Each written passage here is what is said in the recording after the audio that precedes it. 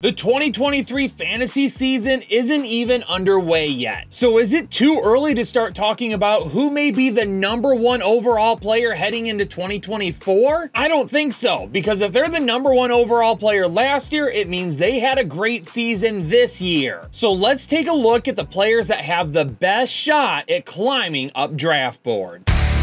Headliner Nation, in today's video, we are going to be breaking down some of the most likely candidates to take over as the 1.01 in drafts next year, and then also throw in a few dark horses that could make their way up there as well. And we're going to break down some pros and cons to each of them and try to dive into why we feel like 2023 could be a huge season for these guys. And if we get a thousand likes on this video, I'm going to pick somebody to win a free draft guide, but quite honestly, you should just go and buy yours right now. You can get it at thefantasyheadliners.com. The link is in the description below. For $21.99, you're going to be getting almost 300 videos that you can't find here on YouTube, plus a bunch of exclusive content that you can't find anywhere on any platform. You know what? And if you purchase your draft guide and you're picked in one of these videos to get one for free, we'll refund you the purchase price. So there's a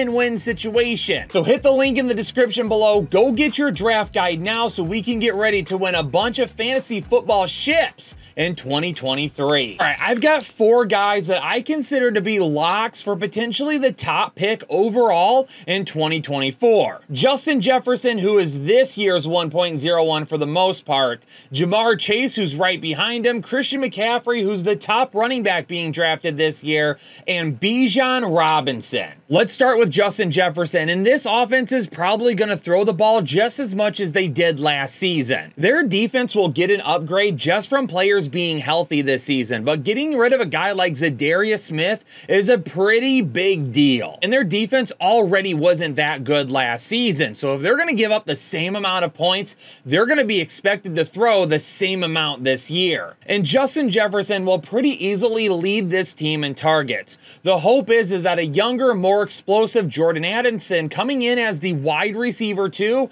doesn't take too much from him. It's hard to argue that a guy like Adam Thielen didn't lose a step last season, and now that you're adding in a much younger and more talented player in Jordan Addison, there is going to be an opportunity for him to potentially see a little bit more targets. You also can't forget about KJ Osborn either, and you have TJ Hockenson. The big thing for me is hopefully Justin Jefferson stays a little bit more consistent because he absolutely absolutely disappeared a couple of times last season when it meant the most to fantasy owners. But he's probably the biggest lock to move on and be the 1.01 for back-to-back -back seasons. Ja'Marr Chase from Cincinnati, he's going basically two and three in a majority of drafts right now. And even though he's got players there like Tee Higgins and Tyler Boyd, he still continues to be the main option and the biggest deep play threat in this offense. And even after hurting his hip last season and coming back much quicker than expected, he went off down the stretch and showed us exactly why people are drafting him so high. Really, the big thing for me is making sure that he just stays healthy because we know he's still going to command the volume.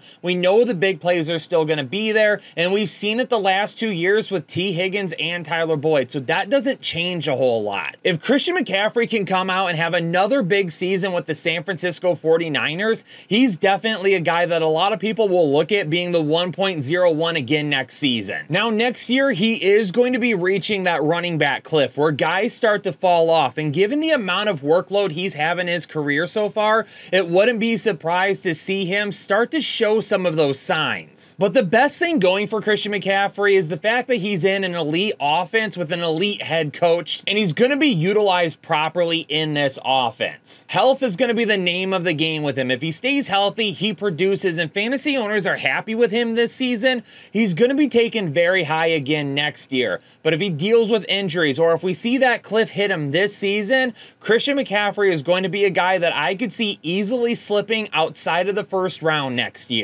What about Bijan Robinson? If he performs like a lot of people expect him to, he will probably be the number one overall pick next year. And quite honestly, if you said, Kyle, put your money on the guy to be the 1.01 right now, I'd put it on Bijan. We know he's going to get plenty of touches. We know this is an offense that is going to run the football quite a bit.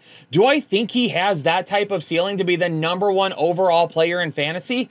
Absolutely, I do. But for this season, I have to see how Desmond Ridder turns out, and I have to see how the usage of Tyler Allgeier cuts into Bijan Robinson. And I also need to know for certain that this is a guy that we can expect to get anywhere between 60 to 80 targets on a regular basis. If none of those concerns or fears come to fruition, then this is a guy that's going to have well over 300 total touches this season, will pick up plenty of yards and score plenty of touchdowns. And again, if that happens, then he absolutely will be locked in as the number one overall player in 2024. Let's talk about a few guys with some very strong potential, but probably wouldn't end up happening unless they put together a perfect season. Nick Chubb, Cooper Kupp, and Jonathan Taylor are going to be my three picks for this section. Nick Chubb is getting more love this season than he ever has before because in years past, people have always argued, but Nick Chubb doesn't get enough receiving work to warrant a top of the draft pick. We know the guy is going to run for plenty of yards. We know the guy is going to score touchdowns. We know he's going to be a league leader in a lot of efficiency categories. But if he takes the next step this season and puts together a fantastic workload in the passing game,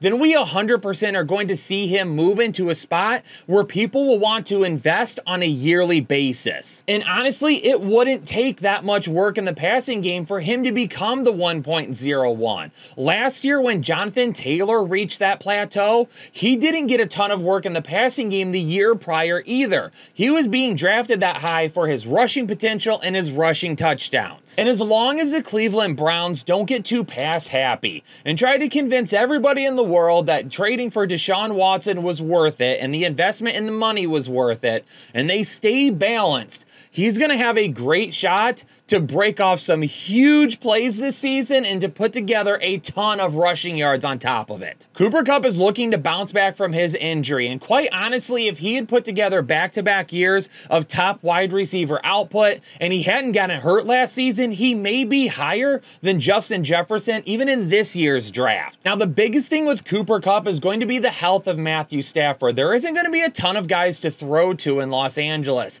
and they're going to probably be throwing quite a bit given the fact fact that their defense is probably going to be a little worse off than what we've seen in recent years. But Cooper Kupp wins all over the field, and because he works out of the slot so much, it allows the Rams to put him in a ton of mismatch opportunities. So if Stafford can stay fully healthy and Cooper Kupp can stay fully healthy, and we see him finish as a guy that is a top three wide receiver, there will probably be a lot of people at the top of next year's draft that highly consider drafting Cooper Kupp as well. What about Jonathan Taylor? He was was the 1.01 last year, but he got hurt. And this Colts offense has an opportunity to be absolutely elite this season with Anthony Richardson at the helm. And even if Richardson still displays some inaccuracies and some inconsistencies in the pass game, as long as he shows a growth throughout the season and enough potential for people to finally buy into him next year, which newsflash, you should already be buying into Anthony Richardson. If you aren't, that's on you, not on me. That would put Jonathan Taylor in a great position next season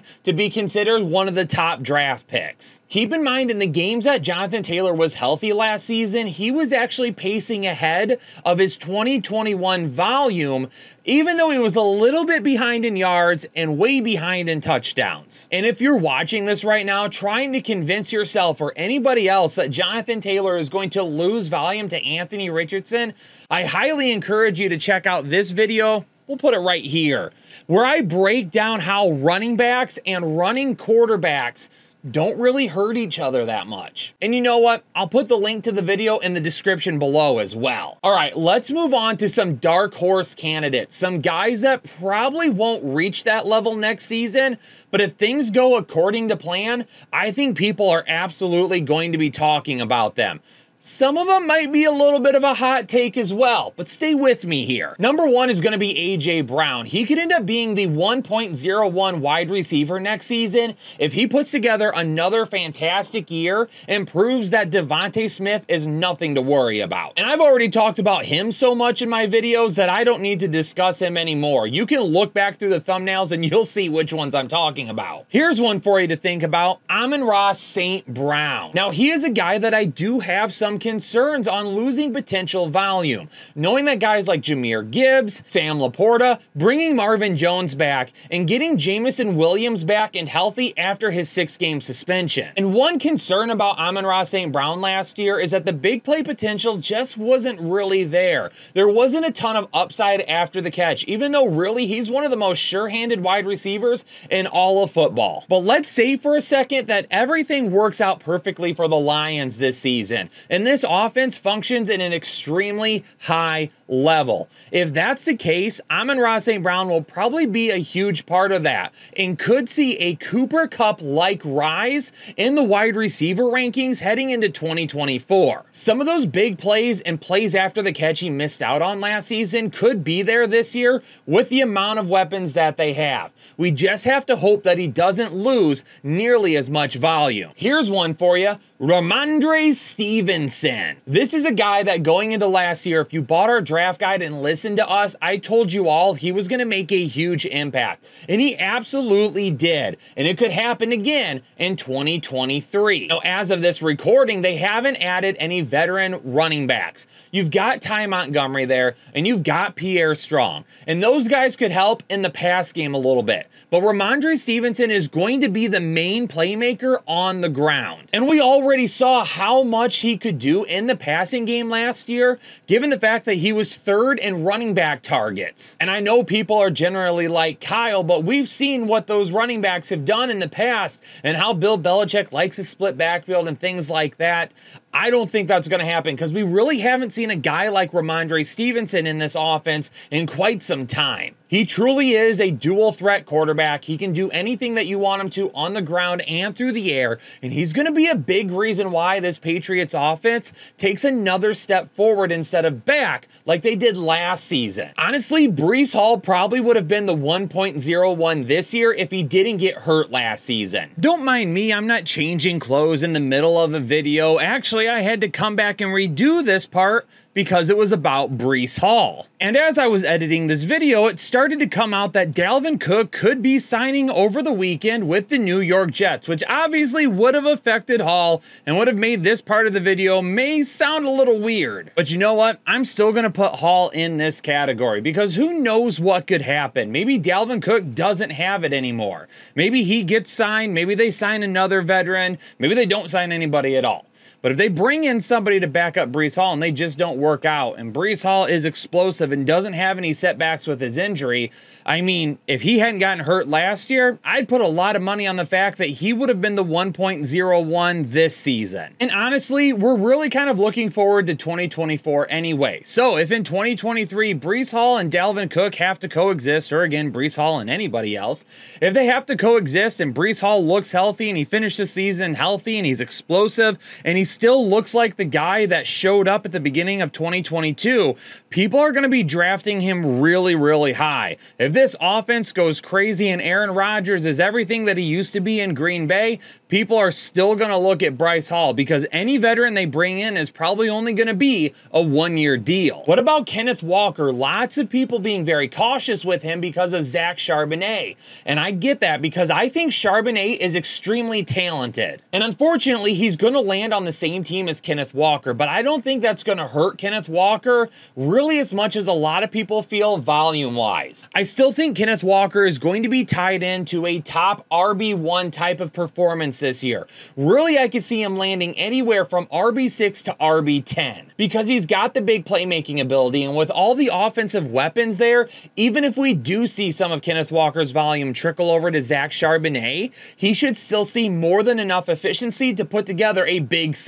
But for him to get there, we are going to have to truly see that Zach Charbonnet is a threat to maybe only 30 or 35% of his workload. If he starts to cut into too much of it, definitely could be a first round pick next year, but wouldn't reach all the way up to 1.01. All right, my last dark horse candidate is going to be Garrett Wilson. And why? Well, what if he actually is Davante Adams 2.0? And we've heard it from several different guys, including Aaron Rodgers himself, that he feels like Garrett Wilson has a lot of the same characteristics and will fit his game plan exactly the way Davante Adams did in Green Bay. And while that's great and all, and maybe he does take that Justin Jefferson or Ja'Marr Chase like jump this season, we need to make sure that Aaron Rodgers is actually playing like his maybe 35 year old self instead of a 40 year old. Because keep in mind, there isn't a whole lot of 40 year old quarterbacks that have been successful at the NFL level. Heck, most guys are done before that. So for me, Garrett Wilson has that potential, but he's going to have to have tons of volume and he's going to have to have tons of yards and he's going to have to have tons of touchdowns. For him to reach that potential of being maybe the 1.01 next year, he's going to have to put together like 16 to 1700 receiving yards. He's going to have to have well over 100 catches, and he's going to have to have about 12 touchdowns. All right, Headliner Nation, this was kind of a fun video to do to look ahead, see who could have big seasons in 2023, and to see who could come out on the other side next year as our top choice for number one overall pick. And I decided to include a lot of wide receivers in this video because we've seen a shift to more and more fantasy owners wanting to draft them in the first round. And again, take this video for what it's worth. A fun breakdown of some of the top guys that maybe do make an historic climb next season. I'm not setting any of these guys in stone and I'm surely not telling you that any of them are the 1.01 overall right now. But we'll see what happens and make sure you hit that like button on the way out and comment down below with your dark horse candidate to be the 1.01 overall next season. Because if this video hits a thousand likes, I'll pick someone in the comments to win a free draft guide. But more importantly, if you're new here to the channel, you gotta subscribe and stick around all off season and in season with us. But for now, Headliner Nation, I'm gonna get out of here. Peace out, stay safe and healthy, and I'll catch you all on the next episode of the Fantasy Headliners.